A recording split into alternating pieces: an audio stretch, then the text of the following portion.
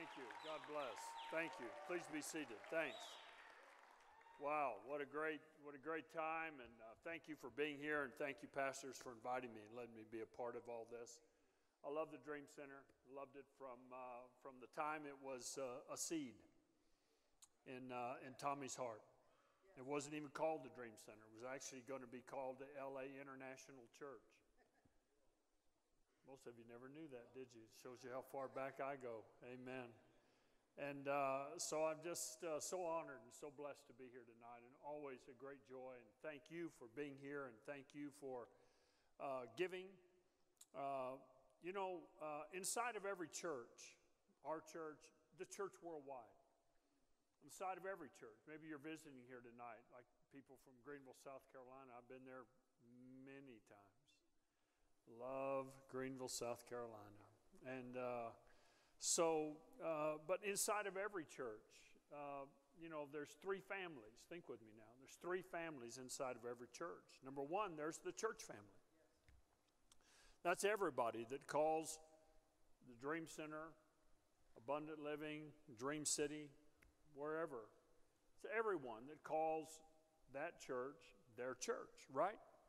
The church family, the whole church family, everybody. And then inside of that, there's another family. It's the serving family.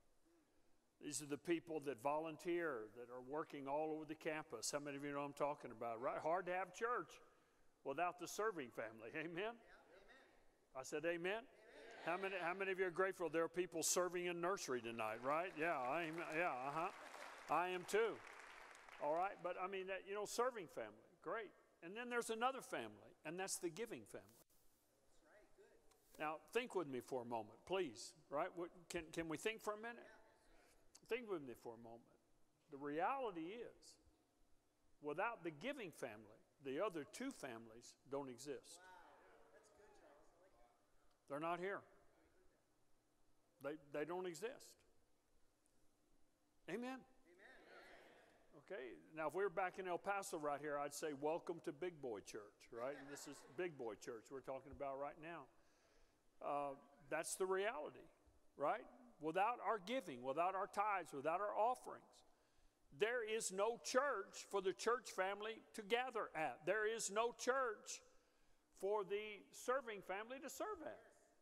Now, when we understand that, how many of you understand what I'm saying to you now, right? So, when we understand that, then we understand why Satan fights us over giving. Right? I mean, he'll fight you over coming to church. But once you get there, well, you're there. He'll fight you over serving. Right? But he never stops fighting you over giving. I've been tithing for over 50 years. And not every month, but about every other month, I have to fight in my mind whether I'm going to do it or not.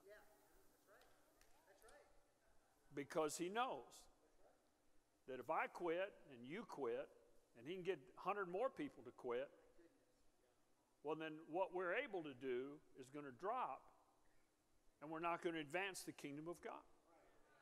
Amen? Can we go a little further? This has nothing to do with what I'm going to teach on tonight, but it's still good, right? The, the other reality is this. Can, can, can, can I just address something else? This is the only part of society, church, is the only part of society where people come and they expect parking, lights, chairs, carpet, security, nursery, lighting, good sound, and we want it all for free. And if you talk to me, if you talk to me about giving, I'm going to get mad and never come back. Because all it's about is the money. No. It's not all about it, but it's definitely a part of it. Come on, grow up. Amen. You don't you don't act that way. You don't act that way when you go to the movie.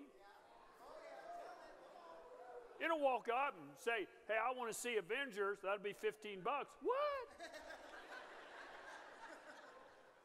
what? What?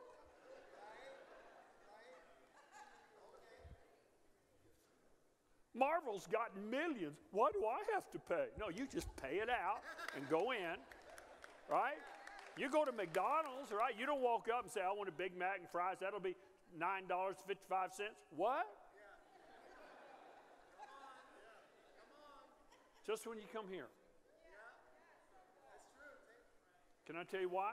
Because the devil doesn't care about where you give the other, but he cares about you giving here. Amen? All right. So I pray, I pray tonight that if you're not a part of the giving family here or wherever you go to church, that you'll become a part of it. And don't tell me you're going to pray about it.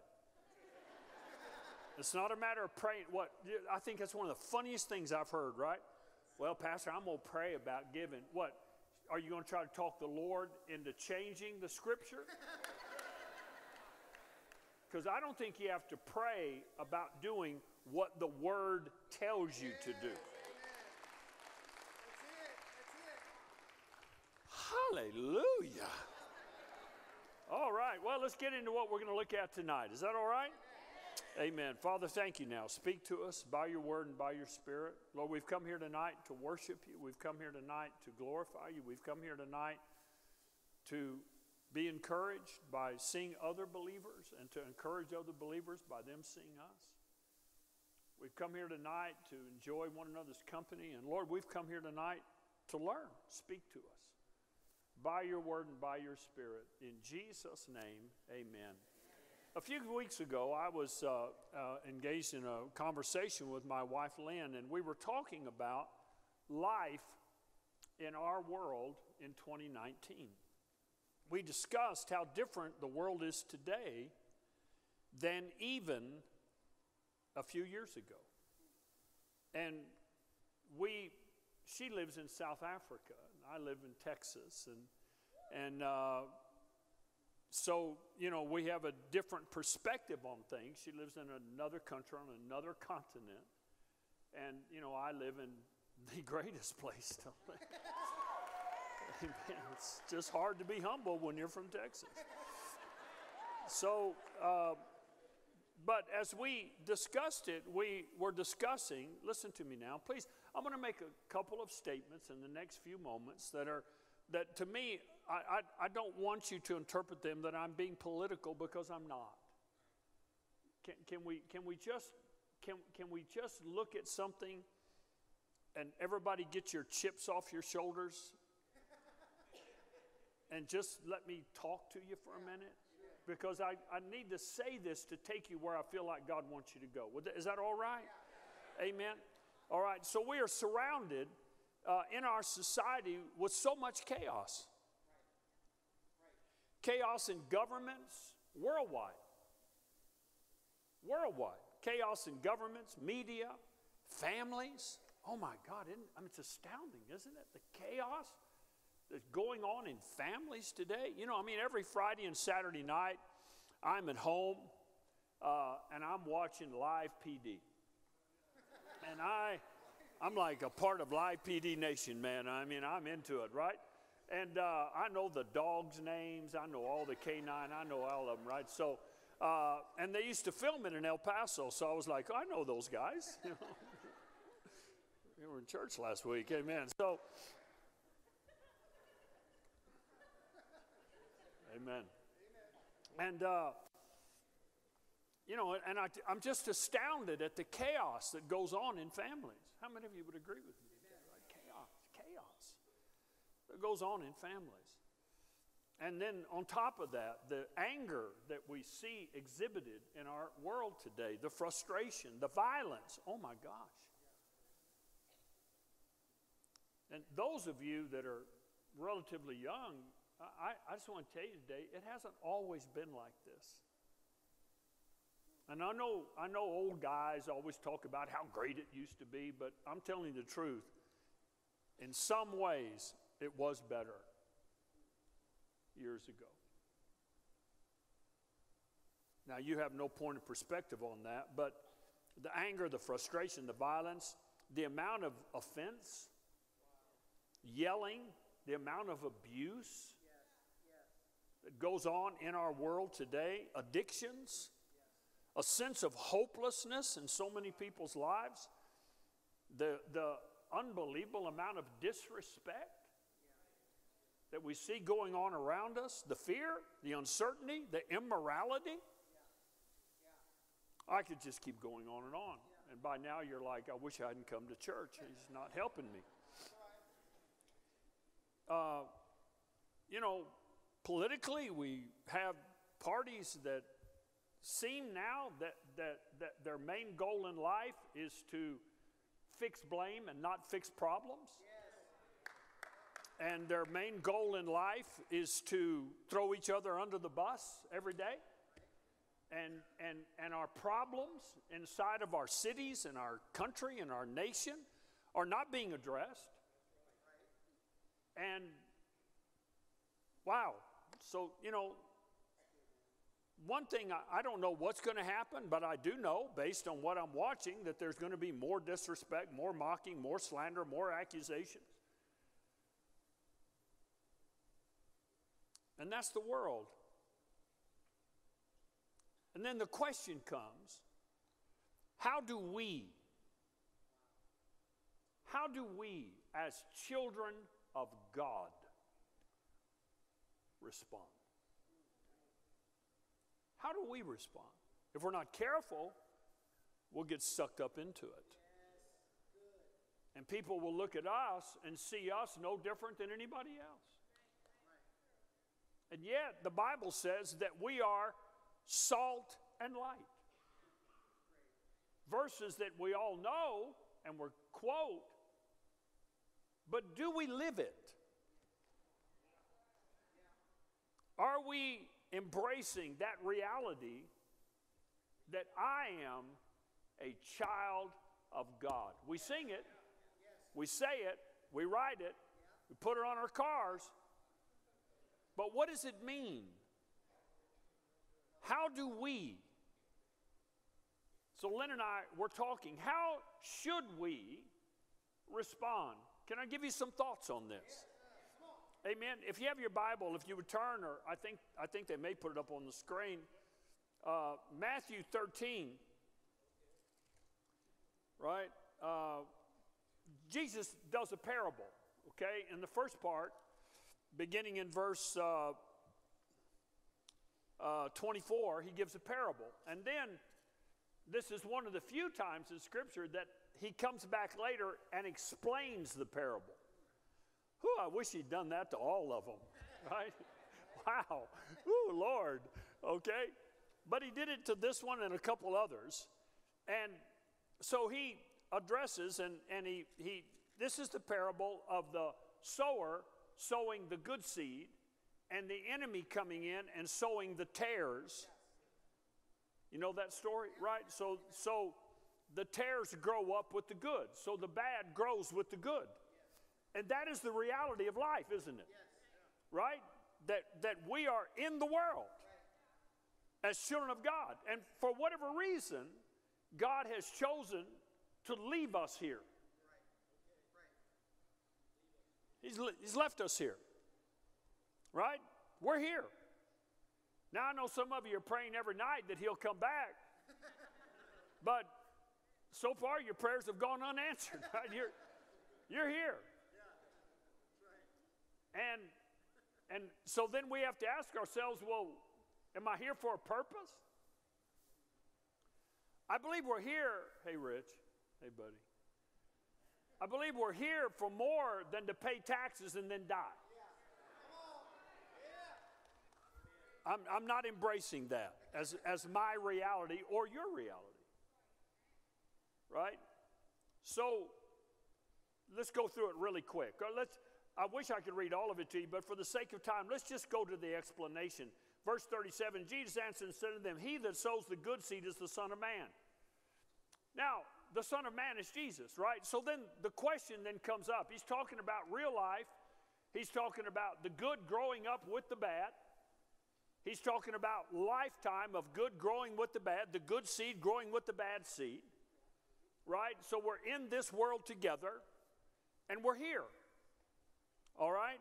And he and he and he says that Jesus sows good seed. So then the question I've got to ask myself as I'm living in this world, so Jesus is sowing good seed. Am I receiving it? Am I receiving on purpose the good seed Jesus is sowing in the earth? Am I receiving it? Are my heart, my ears, my eyes, my hearing, am I hearing and understanding? Am I inclined? Am I focused on the good seed? Am I seeing the good seed? Right? The good seed of God's Word? Now, he also goes on and says, The good seed are the children of the kingdom. So, am I seeing not only the good seed of God's word, Mark the fourth chapter, am I also seeing the good seed of God's, God's children around me? That I'm not here by myself? Hmm? And can I just tell you something tonight? Quit I'm, I'm, I'm just saying this to you because I care about you. Quit believing the plan and the lie that media is telling us that the church is dying in America. Can I tell you the truth tonight? Every pastor I know in America is adding more services, doing more stuff, making more things happen. Yes, there are some churches that maybe uh, aren't surviving. Okay, but they're in the minority, my family. We just bought our third building in El Paso. We do uh, five, six, seven, eight, nine services a week. Right? And we're not unique in that.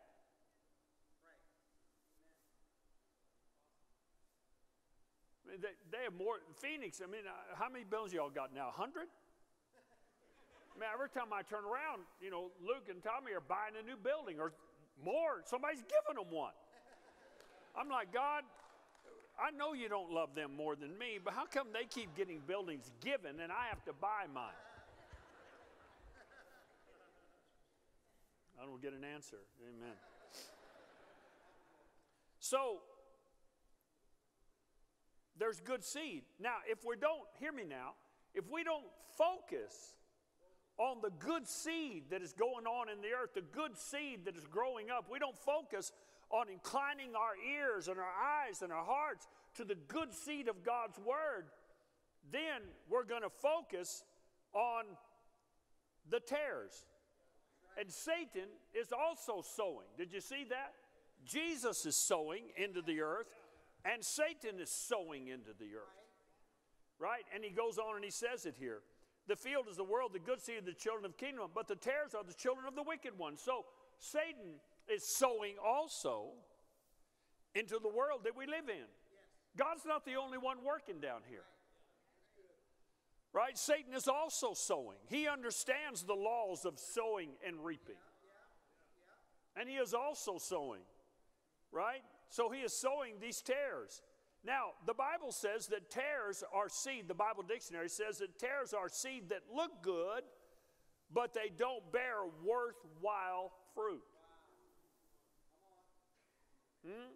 So then I have to ask myself, what seeds am I letting be sown in me? Huh? You know, a seed may look good, but that doesn't mean it's going to bear worthwhile fruit. Right? So I need to be I need to be checking the source of the seed. I need to see what fruit that seed has borne in other places where it was received. Hmm?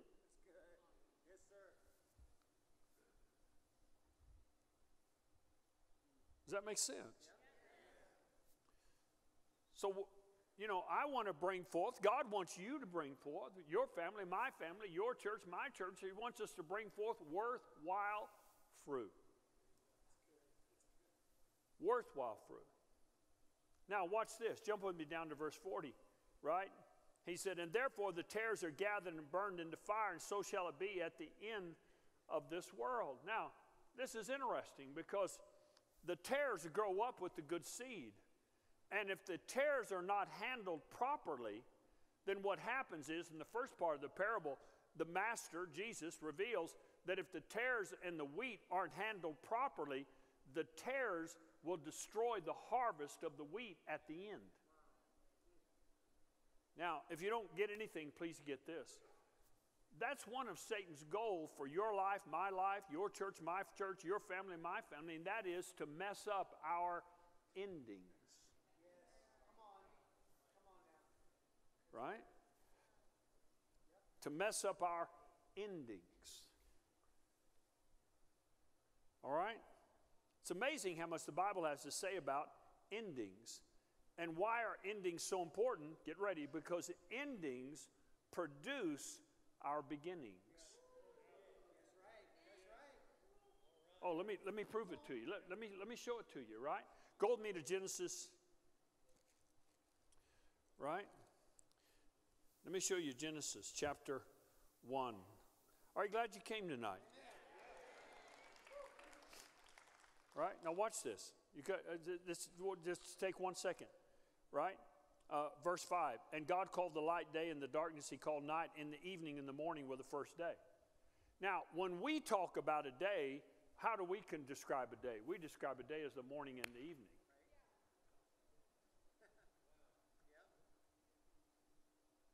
Right? Right now, we're moving towards the end of the day. Right? The start of the day is the morning. So we think of a day as morning and ending. Right? God sees life this way ending, beginning. His ways are not our ways. He doesn't think like we think. Okay? So, with every ending, God always has a new beginning for you. And what Satan, did you catch that? Right? Did you catch what I just said to you? With every ending in your life, God has a new beginning. That's why Jesus is called Alpha and Omega. He said, I am Alpha and Omega. I am beginning and ending simultaneously. I am both things at the same time.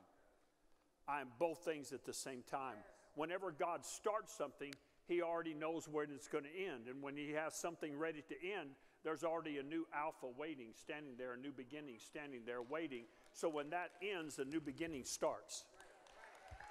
So, what Satan tries to do, is this making sense to you? What Satan tries to do in my life, in your life, is he tries to get in our endings, because if he can get in my ending, then he can mess up my beginning that God has for me, my new beginning. Huh? All right? So Satan wants to affect our endings because in doing that, he can, he can affect our beginnings.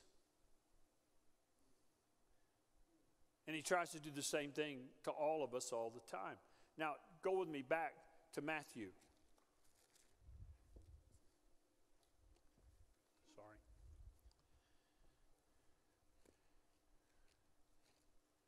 Matthew 13. Okay? About another hour and 15 minutes we'll be done. Amen. So it's good. We're good. I don't have to go anywhere till 11 tomorrow morning, so I'm, I'm good to go. Amen. All right? No, I'm just kidding. Kinda.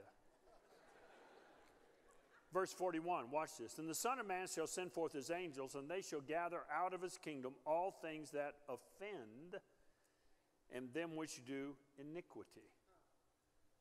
So, this is something that all of us need to be on guard of because the tares can produce this in our lives. The world that we are living in can cause us, even though we are children of the God and we are living in the kingdom, this offense and iniquity is growing up right next to us. Isn't that amazing? It's growing up right next to me and you. And if I'm not careful, that stuff will get in me. It'll get in you. It'll get in us. And we have to be careful. Can I hear a good amen on that, right? We got to be careful because he said this offense and this iniquity needs to be removed from the kingdom of God. So I've got to be on guard and be careful, right? Because I don't want this to get in me, and I don't want it to get in my family, and I don't want it to get in my church. But he said that it's there. It's there. So I've got to be on guard for it, right? Let me give you the definition of the word offend. It means you become displeased. It's a very interesting word in the Greek language. It's actually like a progressive definition. So you become displeased, right? Something displeases you, right?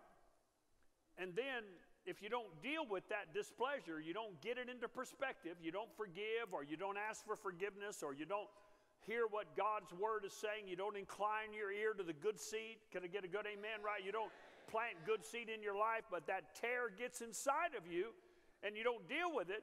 Then the dictionary, the Bible dictionary says you become displeased, then you become resentful.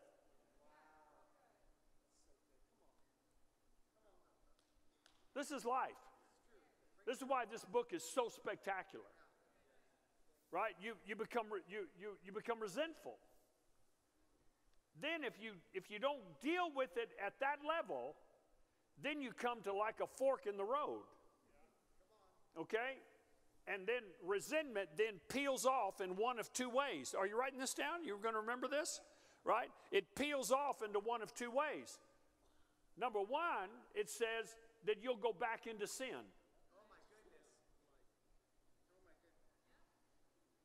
You go back. Hmm? Well, I never heard of that. Yeah, yeah. The pig goes back to its mud, the dog goes back to its vomit. So I'm going to ask you a simple question tonight. Are you a child of God, or are you a pig, or are you a dog? Which one are you going to be? I'm not a pig. I'm not a dog. I like dogs, but I ain't a dog. I'm a child of God. Maybe at one time I was a pig and I was a dog, but I'm not one now. I'm a child of God. I'm not going back to the mud. I'm not going back to the, to the vomit. Amen? Not going to do it. But you can. You can if you don't watch your heart, if you don't plant good seed in your heart, if you don't watch out for these tares that are trying to get into you. The chaos, the evil, the anger, the immorality, the stuff. It's trying to get into you. It's trying. Hmm? But if you, if you don't go back into sin, you know what then happens? You, you become displeased, you become resentful. And if you don't go back into sin, the other fork in the road is you become bitter. You become bitter. I mean, a lot of bitter Christians. They're not sinning. I mean, by that, they didn't go back into sin. Are they bitter? Uh, the dictionary defines bitterness, listen to this, as intense hostility. You know anybody's bitter? Hmm? If you're sitting next to them, just keep looking straight ahead. Let me deal with them.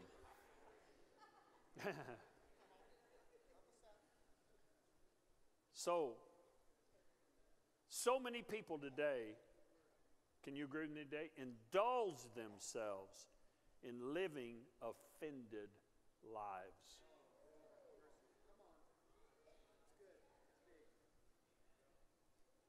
They don't wait for something to happen, they leave the house offended.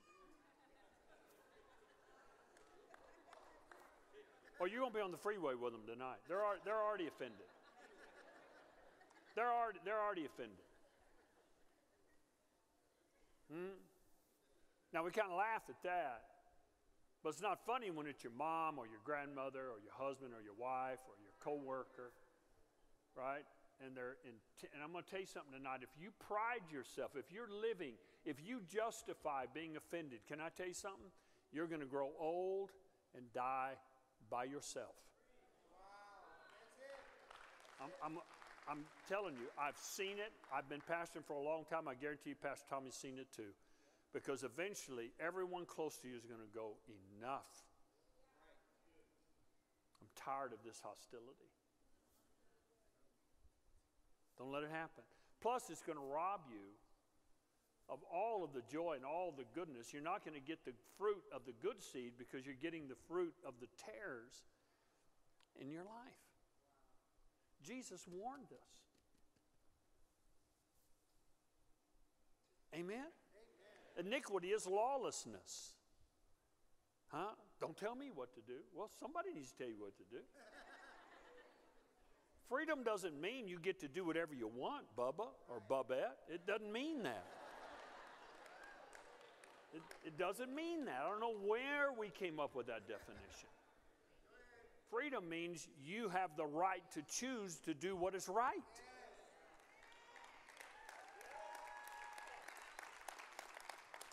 Hmm? So, life, listen, I got to wrap it up. Life is full of endings. Get this now. Life is full of endings. Years in, huh? But you know what? Eras in, relationships in. You know, I, I, I, I always, and, and, I, and I'm not mocking, I'm not making fun. I just think it's kind of funny and cute.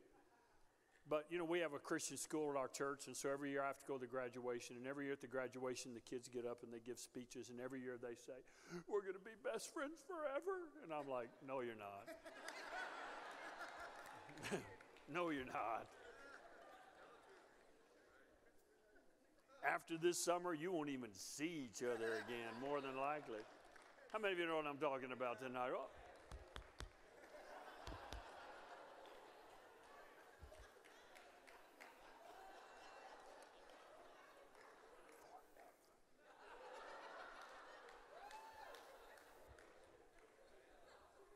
Hmm? And you mean it. Okay, so relationships end, right? So that one's kind of funny, but how many of you know not all relationships ending are funny? They're not. And let me tell you something about endings, just to remind you sometimes they're expected, sometimes they're abrupt. You, you didn't expect it. Hmm? Bankruptcies, divorces, jobs end. Hmm? We've got people in my church, I mean, literally, they go to work Friday, got a job, by lunch, they don't. Wow. Didn't see that coming. Hmm? Partnerships in. Businesses are no longer viable. That's kind of amazing, isn't it? When you think about companies that 20 years ago were Fortune 500, now they don't even exist. They're gone. Thousands of jobs gone with them. Wow. I mean, it's, it's endings, right? And can I say this to you tonight? Maybe it'll help somebody. Sometimes it just needs, it's just time to put an end to something. It, it just is. So here's the deal Satan will try to get you to not sow the right seed for your new beginning.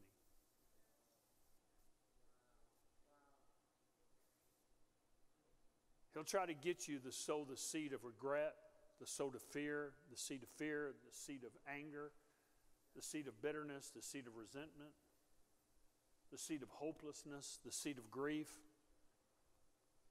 Instead of sowing the right seed that's going to give you your new beginning. Listen, just because it ended doesn't mean you ended. All right, in closing, got 10 minutes. How do, how do we respond to all this?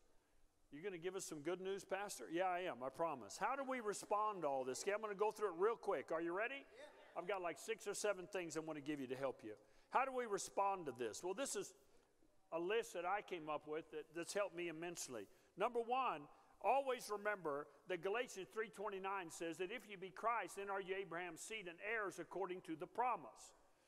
The word heirs means you have in your hands the promise. What promise? The promise that God made to Abraham. And what was the promise that God made to Abraham? Genesis 12, 1 through 3. As for me, God said, I will bless you. I will bless you. I will bless you. You have that promise in your hands.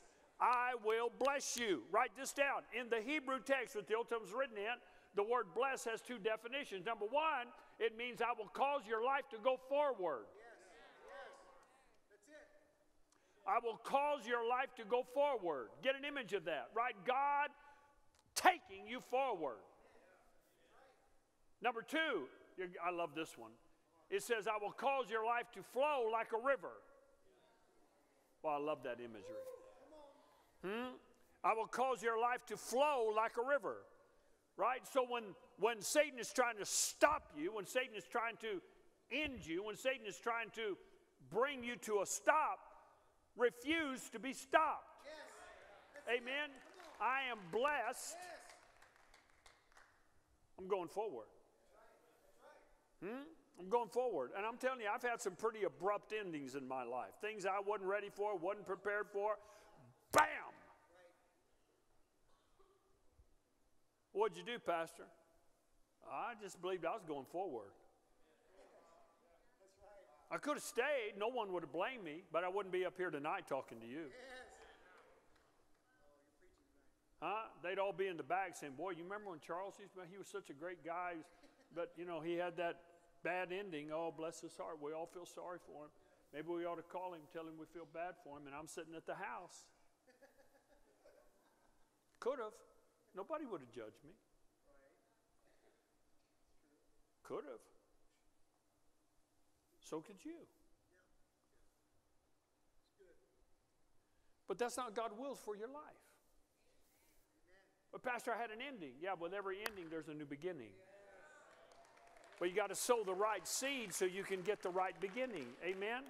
So you're going forward, right? How about this one? Number two, always remember John 17, verse 14 and 16. You are in the world, but you are not of the world. I am in the world, but I'm not of the world. Say it with me. I'm in the world, but I'm not of the world. Amen. I'm in it, but I'm not of it. I'm in it. I'm in it. I'm in it, but I'm not of it. It is not the final authority over my life. It is not the final authority. It wants to be, it will try to be, it will tell you that it is greater than the kingdom of God, but it's not. Amen? So are we children of God or are we not? Amen. Is God for us or is it just something we sing? No. Number three, believe the best for your future. Jeremiah 29 11, God said, I know, I know what I have in plan for you to give you a hope and a future to give you a hope and a future.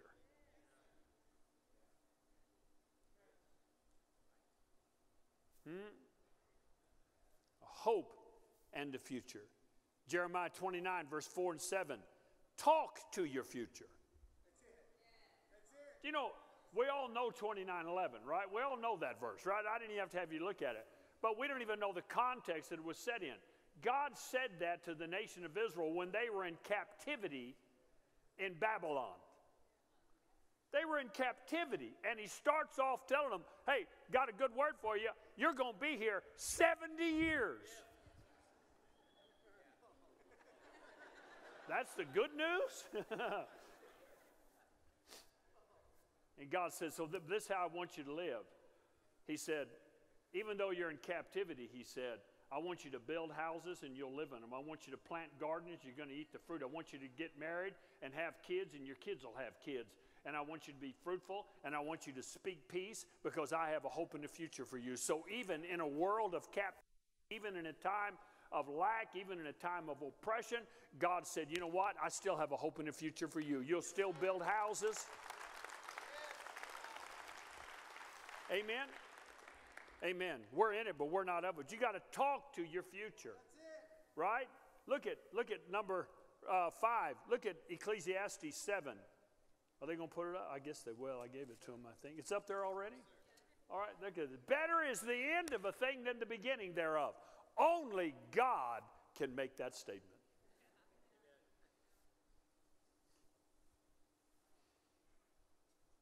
Come on, tell me the truth tonight.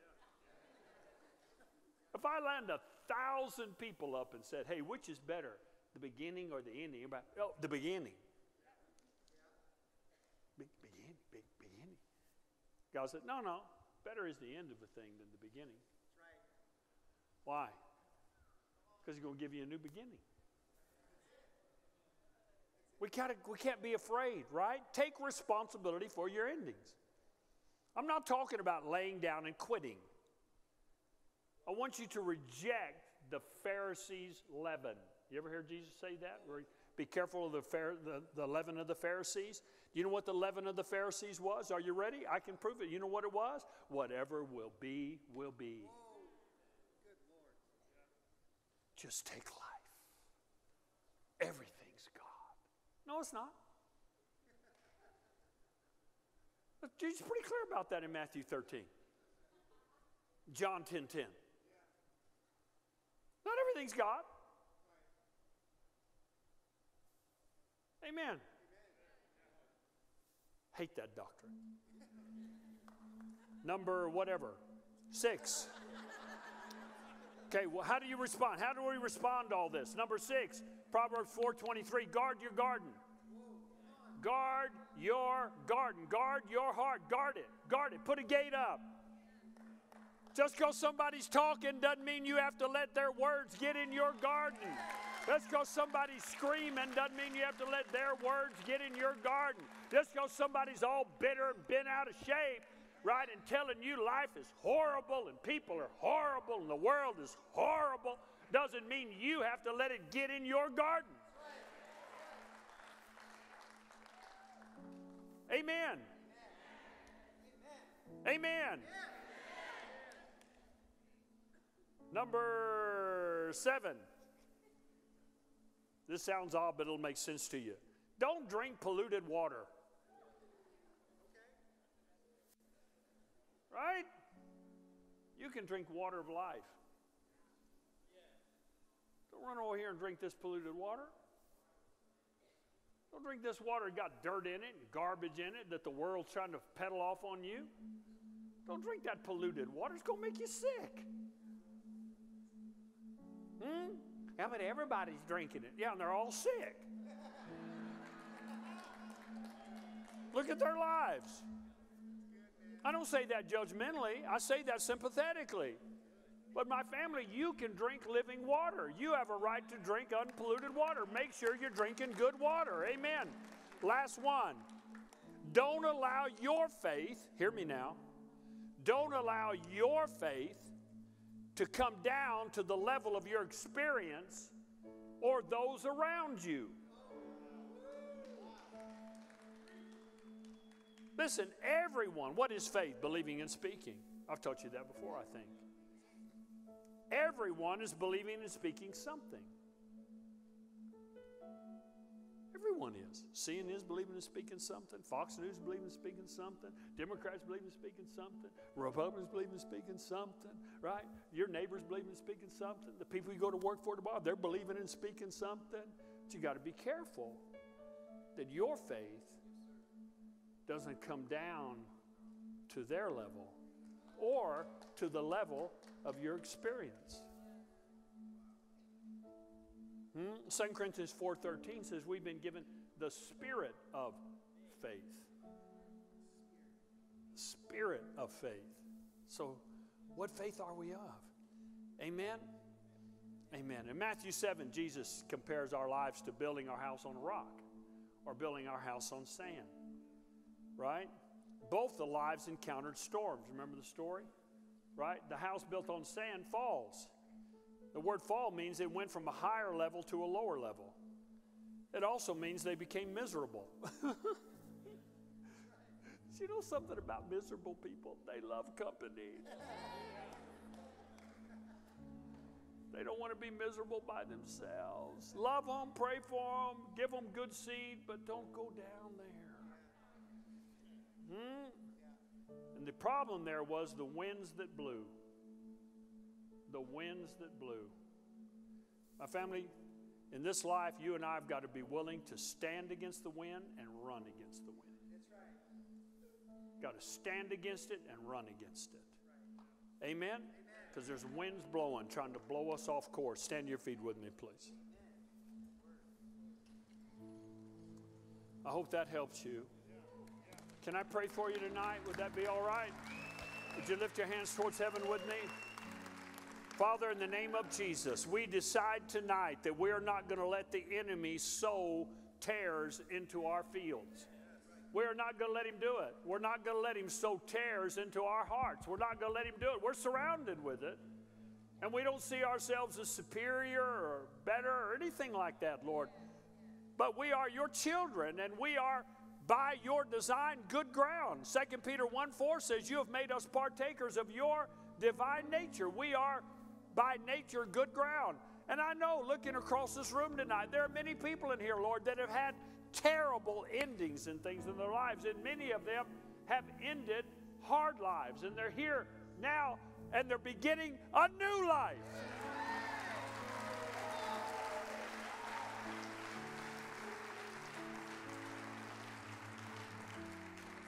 And I pray for them tonight. I pray for them wherever we are, here, balcony, wherever we are.